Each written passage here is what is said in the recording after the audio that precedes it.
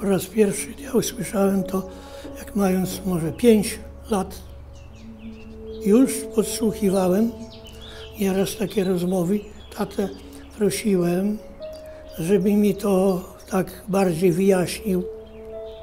Tu miałem dziadka, miałem babcię, a ze strony taty nie miałem. I mnie to interesowało. Raz powiedział kilka słów, raz, a dziecko dziś nie mam czasu. Miał żal, bardzo duży żal miał. W 1942 roku, już jak Niemcy masowo zaczęli strzelać tych Żydów, dwóch młodych chłopaków udało się im uwolnić z tego getta i schronili się właśnie, kryjówkę sobie zrobili na dzień w lesie i jeść się chciał i prosili jedzenia. Poszlojny i Szymel mieli na imię.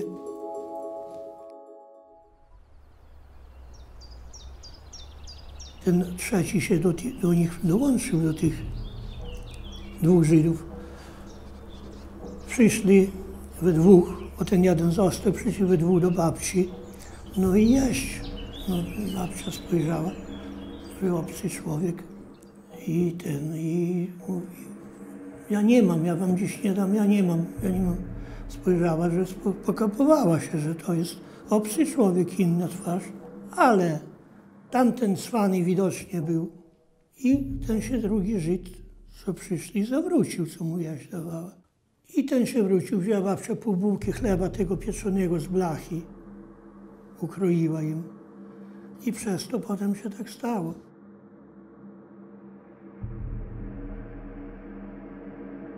Babcia mówi, nie przyprowadzaj mnie obcych ludzi, bo to nie wiadomo, kto to jest.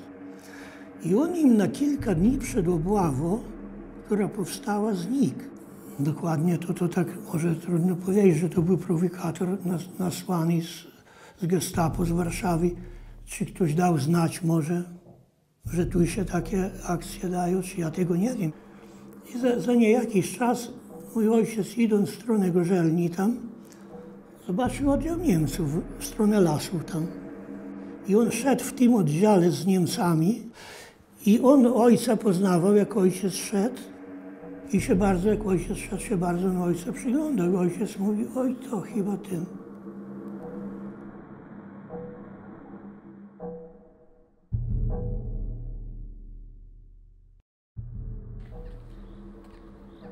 Ciocia miała wtedy 18 lat i ona to wszystko widziała na ich oczach.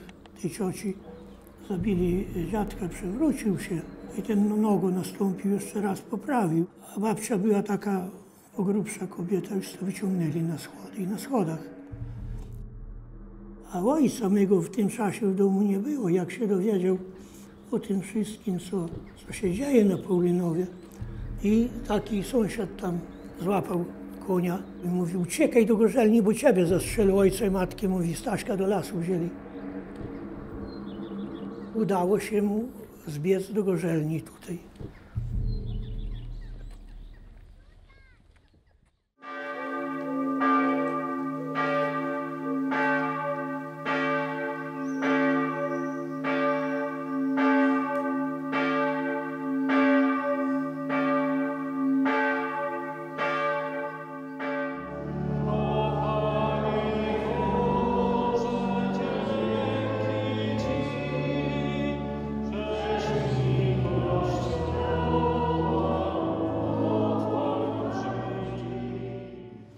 Takim dniu przychodzi nam dziękować za świadectwo chrześcijańskiego miłosierdzia okazywanego Żydom przez mieszkańców tych stron po likwidacji getta w Sterdyni.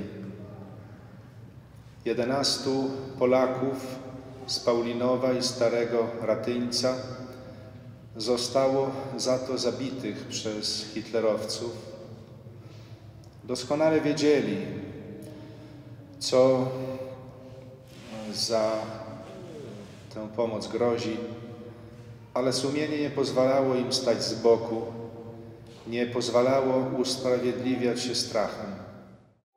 Taką tragedię przenieść, to już jest naprawdę coś poważnego. Może na naszych tam zdrowiu, czy naszych dzieci nam się nie odbiło, ale pamięć się nie zapomni. Nie mogę tego wypowiedzieć, żeby ze względu człowieka niewinnego, z jego dobroci i jemu życie odebrać.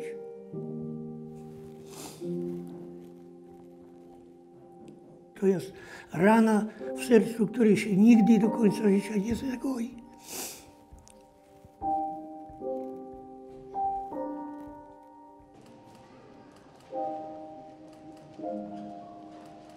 Za tego komunizmu to było bardzo ściśle.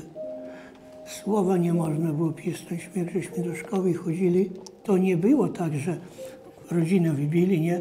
No to ktoś się ujął, żeby pomóc tam w czymś. Do tego te- za tym się nikt, nic nikogo nie interesowało. Ja myślę, że to przez tamtejsze władze wtedy, co rządziły, pod dywan wszystko zamiatały, aby nie rozpalać ognia.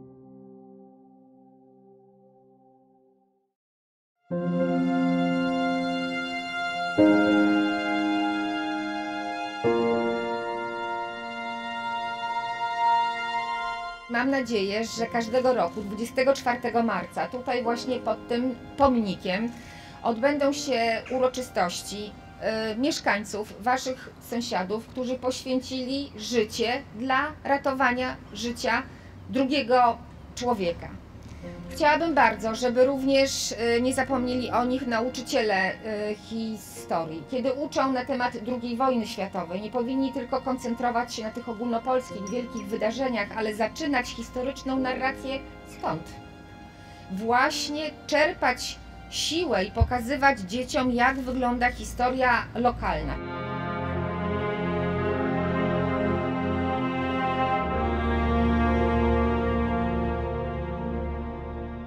Pamiętamy o tym, że ten czas II wojny światowej i tu okupacji niemieckiej to był czas przede wszystkim wielkiego strachu i niepokoju. Naprawdę podanie chleba było przede wszystkim obarczone nie tyle nawet tą karą, bo każdy, kto pomagał, liczy na to, że, że ta kara go nie spotka, ale ten strach był permanentny, był tam wokół nas. Dlatego projekt Zawołani po imieniu ma za zadanie to doświadczenie zatrzymać i umożliwić pracę kolejnym pokoleniom badaczy, abyśmy mogli naprawdę opowiedzieć, co tu się stało i jak to wyglądało.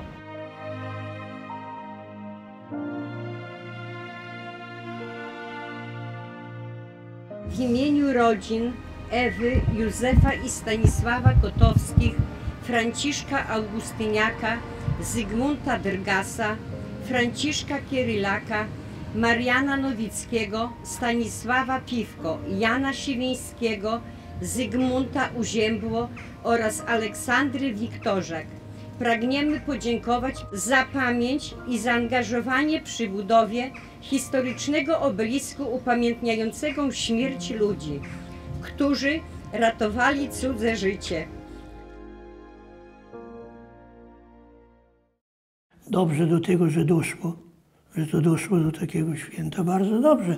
Może nie jeden jeszcze coś usłyszy, zrozumie. To mój rodzinny dom, w sercu go mam. Czułem bardzo dużo radość w sercu, że na- bynajmniej ktoś się tym zainteresował. I chcę Wam wszystkim serdecznie podziękować.